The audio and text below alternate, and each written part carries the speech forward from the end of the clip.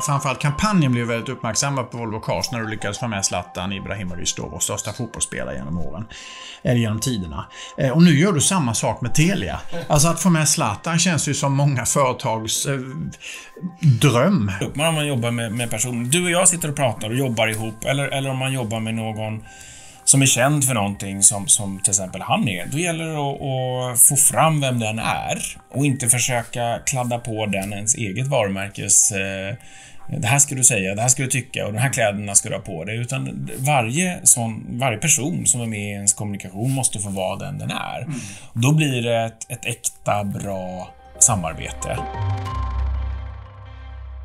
Att ett starkt varumärke är A och O för ett företag, det vet vi sedan gammalt. Men hur anpassar man varumärket i en tid med den extremt snabba samhällsomvandling som coronapandemin och klimatkrisen innebär? Ja, idag ska ni få träffa Per Karlö som förändrat Volvo Cars varumärke och nu håller på att göra detsamma med Telias. Och på båda resorna har Per lyckats få med sig Sveriges bästa fotbollsspelare genom tiderna, Zlatan Ibrahimovic. Hur lyckas han med det? Ja, det och mycket annat ska vi fråga Per om idag. Varmt välkommen till oss på Railers Play, Per Karlö. Head of Brand, det är titeln på Telia. Precis. Tack Jesper. Roligt att du är här. Tack så mycket. Jättekul att vara här. Du har ju en eh, en spännande bakgrund som vi ska börja prata en del om. Du började på Telia vid årsskiftet då som Head of Brand. Eh, du har lång eh, erfarenhet inom marknadsföring och varumärkesstrategi och så vidare. Berätta lite grann om din resa. Ja, eh, utan att dra hela CVt så, så eh, jag började med att jobba på reklambyrå och eh, mediebyrå som köper medieutrymme och så. Och sen så jobbade jag på ett förlag också. Och sen började jag jobba på eh, Volvo Cars eh, och var med om den eh, resan. från att varit ägt av ett amerikanskt bilbolag, Ford, till, till blivit helt självständigt, kinesiskt ägarskap och sen utvecklas, fördubblat sin volym och, och förbättrat sina marginaler rätt rejält också. Mm. Ehm, 15 år blev det på Volvo Cars där, så en, ehm, ja, en, en rolig resa i helheten och sett faktiskt olika sidor av, eh, av, eh, av den branschen som jag har varit mycket i, marknadsföringsbranschen. Mm. Både som då eh, vad man kallar konsult och leverantör till, till och sen så bytte över till den andra sidan. Det är alltid bra att se båda sidor. Mm.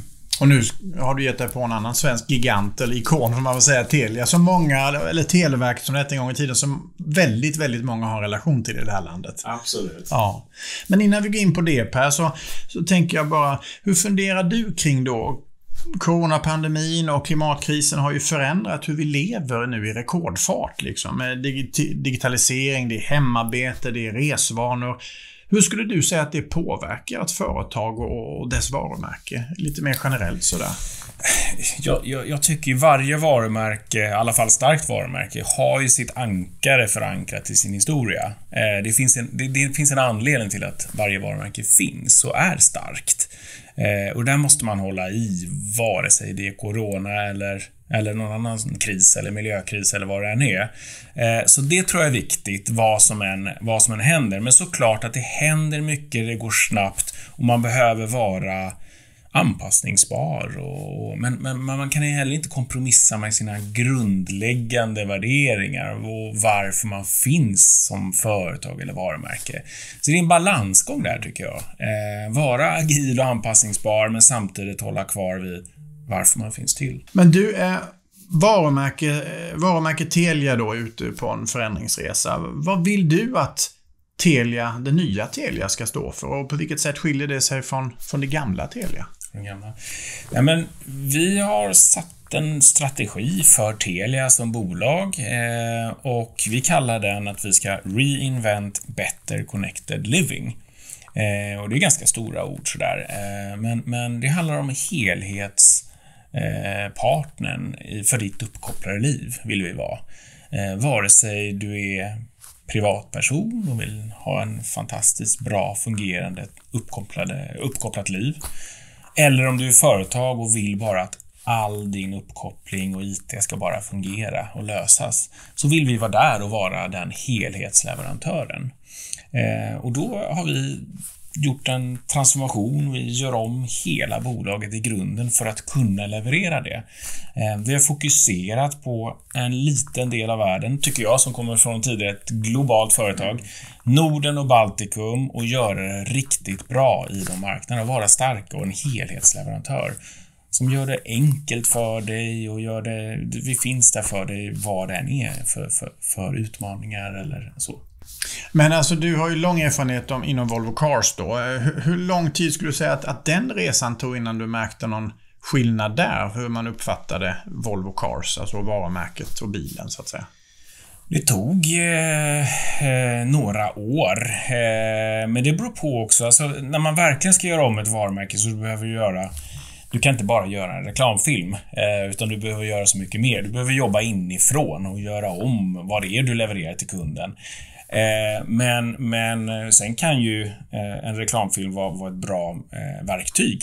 Faktiskt både utanför företaget, mot dina kunder, men även inåt. Mm. Du, du, med en, en, en, en, riktigt, riktigt bra kommunikation eller marknadsföring så kan du skapa en stolthet för bolaget, stolthet för varumärket. Så, så, så, så dina, dina kollegor och, och går, går till jobbet med lite rakare ryggar och, och lite, lite mer inspirerade. Så stolthet är en stor del av varumärkesbyggande idag? Ja. Alltså för de som jobbar med, på företaget så att säga. Att man ska känna stolthet över att jobba just på Telia eller på Railers eller på Volvo eller vad du vill. Liksom. Verkligen så. Mm. Vi alla är ju mediekanaler idag. Mm. Och vi, vi, vi, vi, vi sänder hela tiden budskap och sänder om vi trivs och sänder om vi, om vi verkligen står för någonting och känner att man delar värderingar med det företaget man jobbar på då är man redo faktiskt att sända ut det i alla sina eh, kanaler och sprida. Så att det blir, eh, istället för att det blir eh, några få marknadsföringskanaler så blir det ju plötsligt 21 000 Telia-anställda som blir marknadsföringskanaler. om man gör det rätt. Mm. Sen en annan sak eh, handlar ju också om att få med sig alla på båten. Eller de flesta i alla fall. Ja. Eh, när det är en förändring. Mm. För alla reagerar ju inte jättepositivt på förändring heller. Hur, hur får man med sig alla på båten så att säga?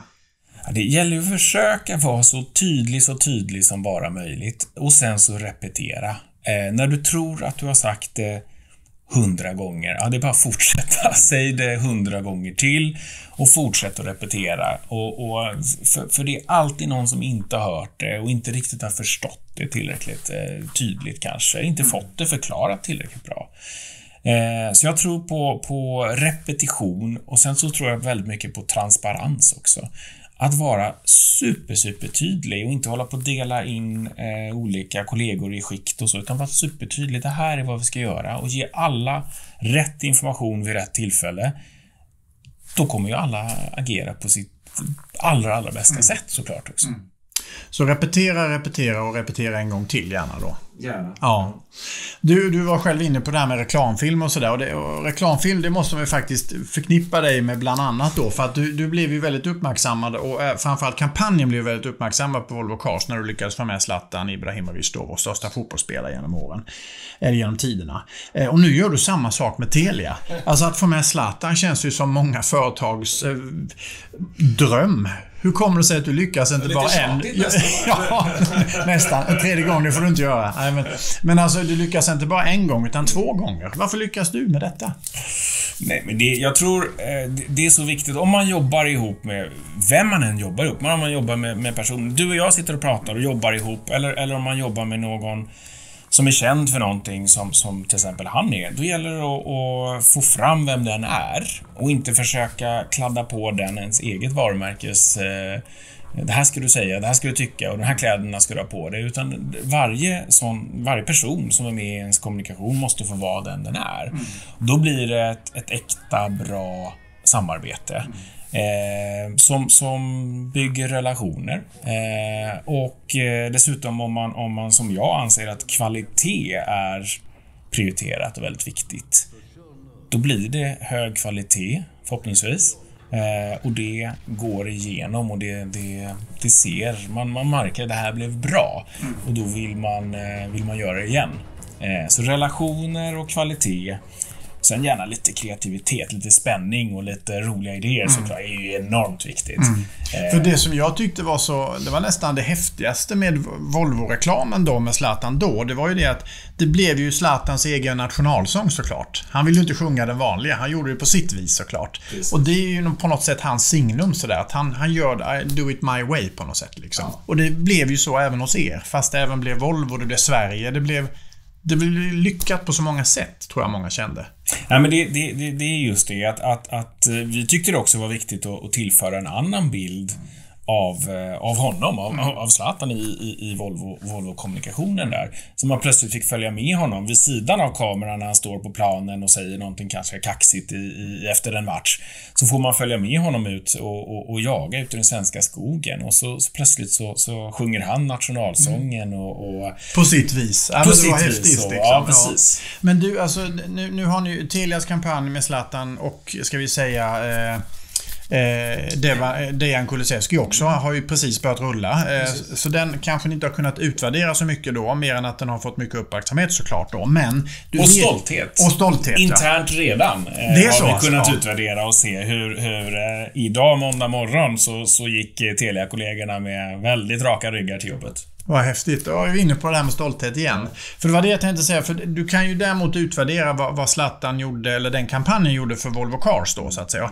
Eh, vad, kan du berätta lite grann hur det påverkade företaget och de anställda och bilden av Volvo? Eh, ja, men vi, vi, vi, hade inlett resan lite innan vi gjorde den kampanjen eh, och, och, och börjat just känna på det här med svenskhet, musik, skapa känslor.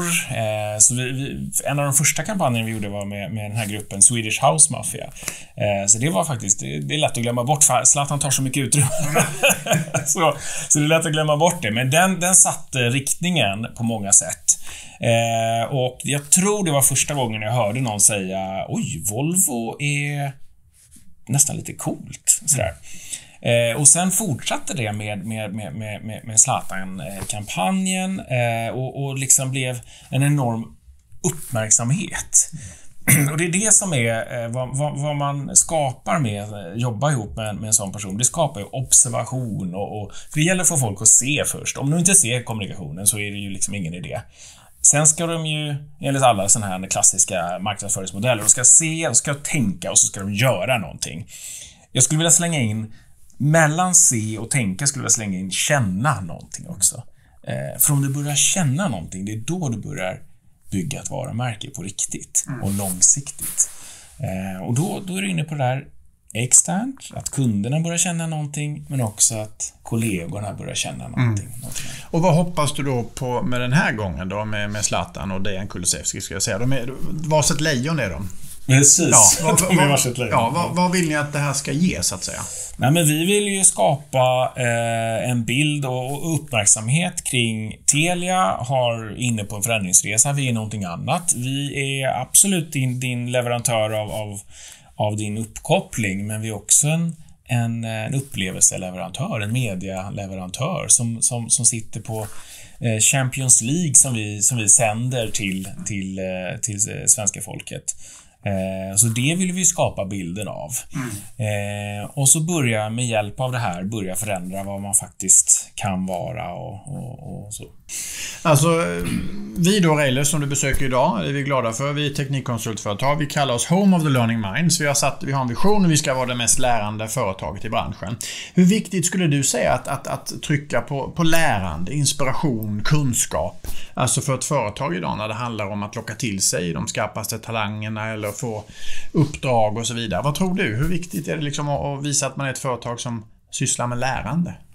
Helt avgörande. Ehm, jag tror för, för, för att locka talanger.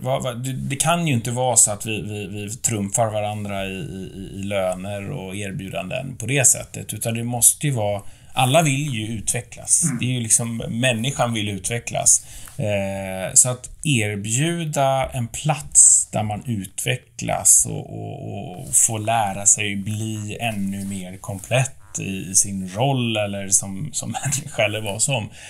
Helt avgörande tror jag. Mm. Eh, så där, där, där, där, tror jag verkligen eh, Railers har någonting att komma med. Vi som Telia ser ju att, att, att vi har någonting att komma med som ett, ett stort företag som också ska vara spännande.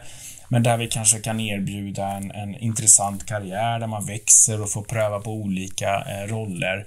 Det kanske man inte kan göra på, på, på den här startupen som man sneglar på då. Eh, man kanske inte kan lära sig och hur man är, jobbar ihop med människor och till och med blir ledare för en grupp och, och, och få verktygen där. Så just det här lärandet, kunskap, jag tror det är helt avgörande. Mm. Till sist Per, jag tänker när jag lyssnat på dig nu så tänker jag lärande som du sa nu, men du nämnde också stolthet som en otroligt viktig faktor för att få med sig de, de anställda på båten på en förändringsresa så att säga. Eh, om man inte får det så, så kommer man ingen vart helt enkelt. Mm. Är det, har jag tolkat det rätt då? Absolut, ja. absolut. Stolthet. Förtroende eh, tror jag är ett viktigt ord också. Mm. Eh, om man ska lyckas. Mm. Men du Per, det var väldigt trevligt att ha dig här och lycka till med Telias förändringsresa. Hälsa Zlatan om du träffar honom. Det ska jag göra. och tack detsamma. Ja, och tack eh, eh, till er också att ni tittade och att ni också lyssnade. Vi finns ju numera som podd också. Vi heter ju Railers Play när du tittar på oss och lyssnar bara på oss, då finns vi i podd och då heter vi Nytänkarna. Snart dyker vi upp med nya gäster och samtal. Hej